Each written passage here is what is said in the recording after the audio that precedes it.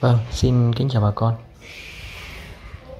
Trong suốt khoảng à, hơn một tuần qua thì à, chuyện nhân đông đã tiếp nhận được rất nhiều các cái câu hỏi thắc mắc của bà con về việc mà bà con mới mua con tròn hương giống ạ. Về Vâng, xin thì kính à, chào bà con. nó được tuần đầu nó ăn mạnh Ờ, rồi sau đó thì nó ờ, bị tiêu chảy và đi ở ra phân có máu. À, và bà con hỏi là nguyên nhân tại sao. Và tôi thấy rằng đây là một cái câu hỏi mà có rất nhiều bà con đang quan tâm. À, cho nên xuất phát từ đó tôi chia sẻ một số cái à, lý do tại sao cái con trồn hương nó lại bị như vậy để bà con có thể à, phòng tránh và hạn chế thấp nhất cái nguy cơ uh, thiệt hại về đàn vật nuôi. Thì ở đây nó, nó có rất nhiều cái nguyên nhân. À, cái nguyên nhân đầu tiên thì đó là cái con ờ, con giống mà bà con mua nó kém chất lượng. Ở đây đó là cái con trồn hương nó không được khỏe mạnh. Bản thân trong cái cơ thể của nó đã tiềm ẩn một cái mầm bệnh à, tiêu chảy sẵn rồi. Và một số các cái lưu ý sau đây để bà con à, có thể thực hiện cho nó đúng. À, khi mà cái con tròn hương mà bà con mới mua về đó thì nó ở một cái môi trường mới thức ăn cũng mới.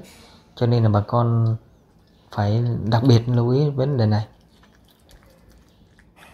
và sau nhiều năm kinh nghiệm à, nuôi thì tôi thấy rằng cái con tròn hương nó là một cái con phải nói rất là kỹ tính. Kỹ tính trong cái việc à, nó không thích sống ở những cái môi trường nhơ bẩn này đấy. Cái thứ hai nữa nó kỹ tính trong vấn đề về thay đổi cái à, thức ăn. Có nghĩa là khi mà chúng ta cho ăn một cái loại thức ăn mới lạ và thay đổi đột ngột ấy, thì con trồn hương nó cũng sẽ dễ bị bệnh tiêu chảy. Đó là chưa kể đến cái vấn đề chúng ta di chuyển. Đó, chúng ta di chuyển trong một cái điều kiện thứ nhất là nó có à, nhiều gió này hoặc là trong cái lúc nóng quá thì con trồn hương nó sẽ bị thay đổi đột ngột nó bị sốc nhiệt thì nó cũng như cơ thể của con người khi mà đi ra nắng nó sẽ bị cảm à, chính vì vậy mà nó có thể là à, dẫn đến bệnh tiêu chảy. Và cái bệnh đã đến bệnh tiêu chảy thì chúng ta có thể thấy rằng nó đặc biệt là nguy hiểm. Bởi vì là cái bệnh tiêu chảy nó có thể lây lan ra các cái con khỏe mạnh khác. Thế thì bà con à, cần phải lưu ý là khi mà chúng ta mới bắt về đấy thì chúng ta phải che chắn đó, vận chuyển chúng ta có thể là bỏ ở trong ờ, thùng giấy đó, trong cái bìa các tông chúng ta đục lỗ ra đó. thì trong quá trình vận chuyển như vậy bằng xe máy hay là bằng ô tô đấy thì cái nó sẽ hạn chế được cái việc là gió lùa vào đó. hoặc là ánh nắng nhiệt độ cao quá làm cho cái, con trồn hương nó thay đổi cái đột ngột từ cái môi trường. Cái thứ hai nữa đó là như cái video trước tôi cũng đã à, trò chuyện với cái bạn thiện ở cái trại trồn hương thế lai đấy thì bạn nó có một cái số cái kinh nghiệm là khi mà cái con trồn mà um, bắt cho khách đem về thì khi mà về đến nhà rồi đấy thì chúng ta có thể là dùng cái chai dầu gió chúng ta xoa vào lòng bàn chân, bàn bàn tay của con trồn hương như vậy để nó có thể làm cũng như là một cái động tác đánh cảm đấy. Hoặc là cho nó uống một ít dầu gió. Thì đấy là cái kinh nghiệm của thực tế của bạn thiện ở trại trồn hương thứ lai, cần thơ. Với một cái nữa là khi mà về đến cái môi trường, chuồng nuôi của nhà chúng ta đấy, thì nó rất là lạ nó phải làm quen lại với một cái à, chuồng nuôi mới một cái thức ăn mới. Cho nên trong vòng khoảng 2 ngày đầu chúng ta đừng tham cho nó ăn nhiều quá.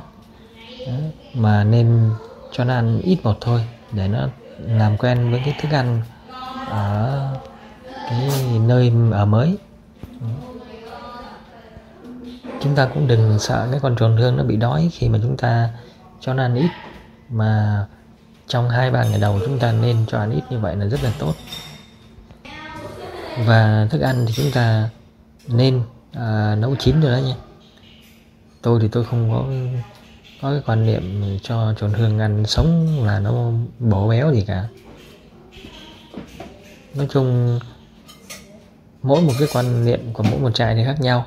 Đấy, cho nên là tôi cũng không có tranh cãi cái vấn đề là cho ăn sống và ăn chín nhưng mà từ trước đến giờ thì tôi cho ăn chín nó không có bao giờ nó bị bệnh. Và tôi cũng chưa bao giờ phải à, sử dụng đến ống ống trích cả. Và trong những ngày đầu thì chúng ta có thể là cho trồn hương ăn chuối này rồi các cái thức ăn giàu đạm như là phổi heo này chúng ta luộc lên. Đó. nếu như mà nó ăn cháo quen thì chúng ta có thể là à, nấu cháo với phổi heo.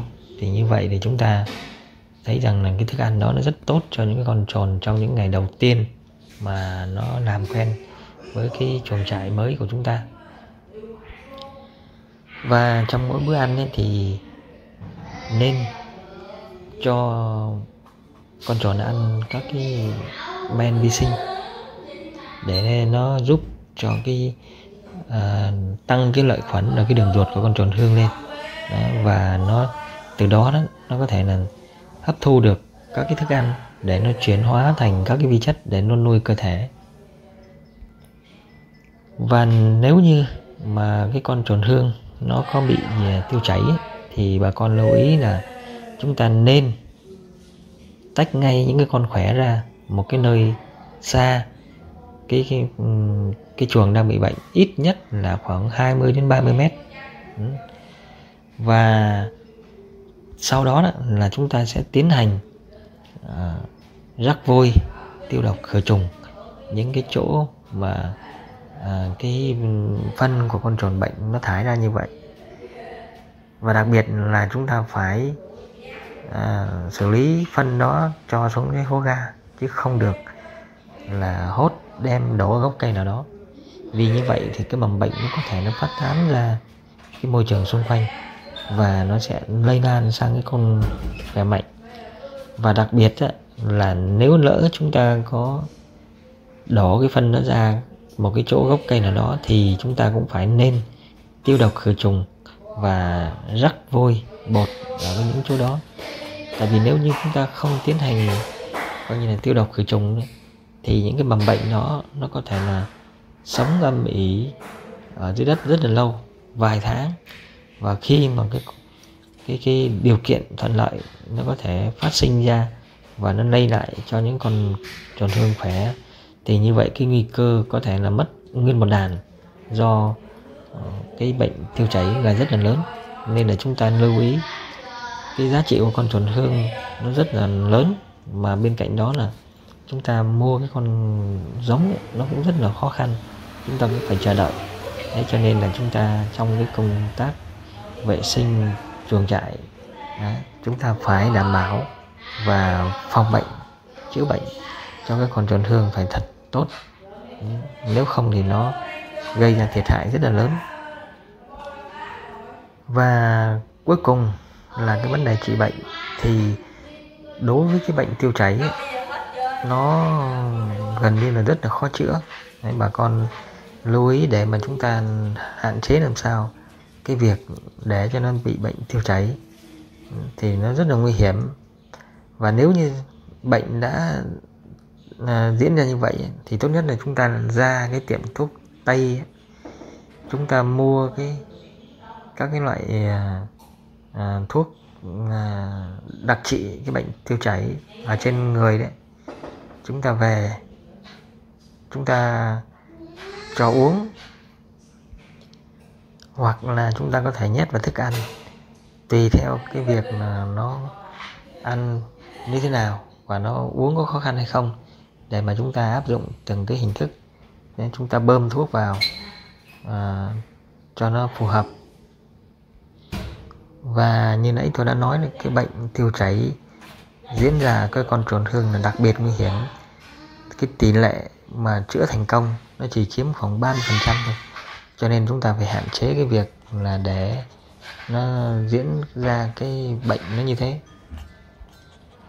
Và trong cái quá trình mà chúng ta sử dụng kháng sinh để chữa cái bệnh tiêu chảy nó như vậy thì ít nhiều cái con lợi khuẩn ở trong bao tử trong đường ruột của con tổn thương nó đã bị triệt tiêu rất là nhiều do là cái thuốc kháng, thuốc kháng sinh mà.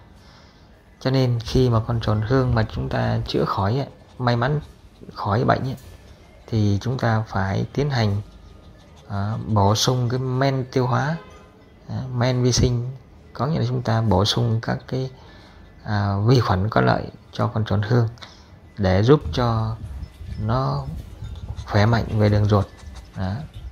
thì như vậy khi mà cái đường ruột nó khỏe mạnh rồi thì nó mới hấp thu được các cái chất dinh dưỡng từ quá trình ăn đó và chúng ta nên bổ sung các cái chất khoáng cho con tổn hương ừ, bằng các cái à, sản phẩm ở bên thú y đấy.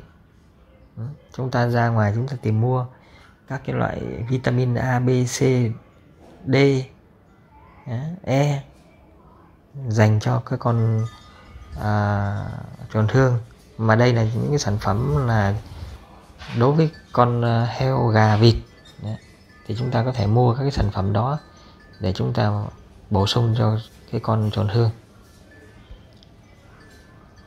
và khi mà chúng ta mua cái con tròn thương chúng ta cũng phải lưu ý đó, phải lựa chọn những cái con tròn thương khỏe mạnh đúng không ạ đó.